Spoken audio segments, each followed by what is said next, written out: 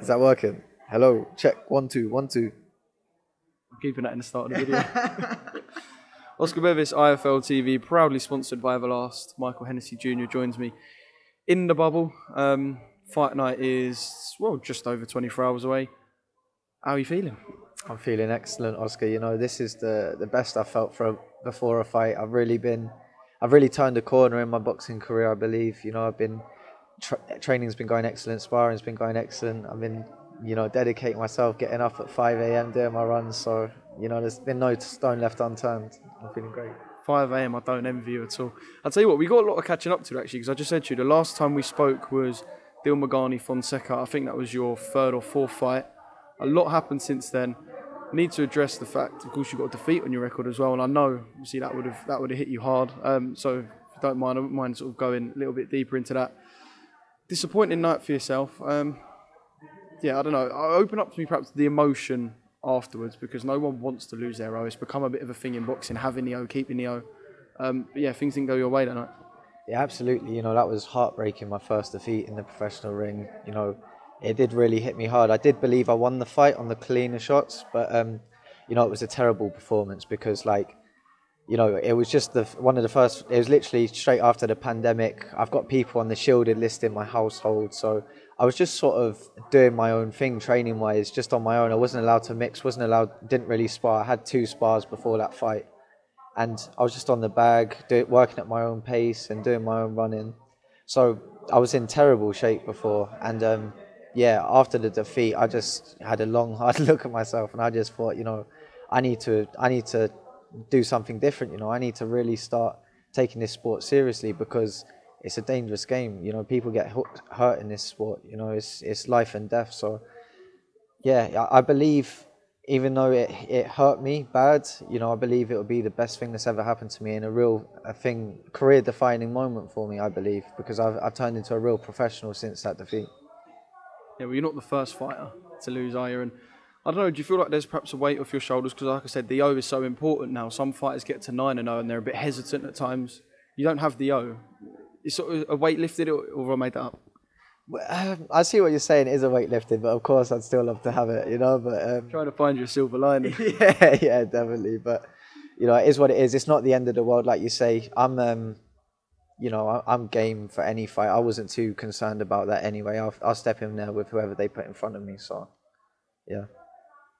And um, has it brought out a different side in you? Like, do you feel like I know you said you obviously taking it, knowing you have to take it serious and probably training harder. I don't know if you've got perhaps a more vicious side because you have fought since then, got victories as well. So is it like a, a, more of a burning hunger, more of like an aggressive Michael Hennessy Jr.? Absolutely. You know, I was always too sportsman-like, like in the early days of my career. Before that loss, and then uh, in my amateur career as well. You know, it's really brought out a spiteful side in me, and you know when things get tough in the gym, I just think about the pain I felt that night after that defeat, and it really pushes me on. When things get hard in training and sparring, that's what I think about, and it's it's turned me into a different animal. Then obviously going from that and then getting a win on your return as well, um, experiencing both emotions in quite a short space of time. Actually, I suppose it's like learning and ticking a box. You've experienced how it feels to lose, and then experience how it feels to pick yourself back up. So, so just like constant learning. Yeah, absolutely. You know. Um, that was a, a, big. I wanted to get out as soon as possible after that fight, but you know, I, am quite glad it, I had like a couple months between to really sort of adjust what I was doing, and you know, make some big differences, which I believe showed in that uh, next fight afterwards. You know, I, I thought that was my best performance to date by a mile, and you know, since then we've stepped it up again, and I've been sparring a lot better again with a lot better caliber of fighters, and tomorrow night I believe you're all going to see um, like a new Michael Hennessy. Can you name drop some fighters? We love a sparring story. Is there anyone that you've sort of been, been doing the rounds with? Yeah, the, so I did. I've done a lot of rounds with Louis Greene. He's a great fighter, former Southern Area champion, real real hard case, good puncher. Uh, Julio Chavez Campbell, you know, he's uh, he's very similar to my opponent in terms of height, and he's he's a very good boxer, very good technician himself, and uh, had a great spar with Chris Kongo as well before he headed out to uh, Vegas with Josh Taylor. So yeah, I'm getting some good rounds in with like top fighters, and it's it's really going to pay dividends tomorrow night. You know, the plan is to stay active, get as many fights in as possible, take the appropriate step ups at the right time. You know, um, I believe like I'll have a couple more six rounders and then step up to eight for the last couple or few fights of this year, and then we'll see what happens next year. You know, hopefully, in my eyes, I'll I'll be guided by my team, but for me, I'd like to be fighting for a title towards the end of next year, definitely.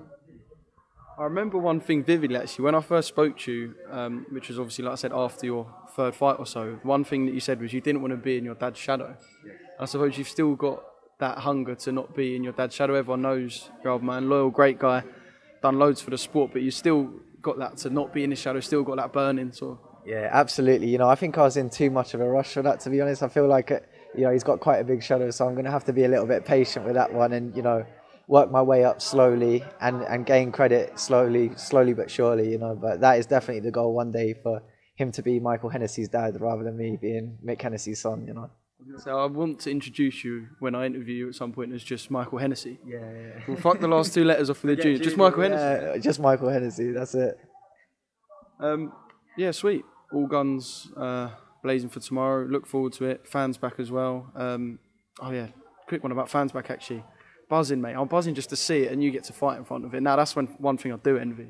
Absolutely, you know it's going to be unreal. The atmosphere, I can't wait to feel the atmosphere on fight night again. You know, I'm I'm very grateful to have been able to box during the pandemic and stuff because you know a lot of fighters haven't been able to. They've been very inactive, but this is I, ca- I cannot wait to feel the atmosphere again. I've got loads of friends and family coming up to support me all the way to Coventry, so it's going to be a brilliant night.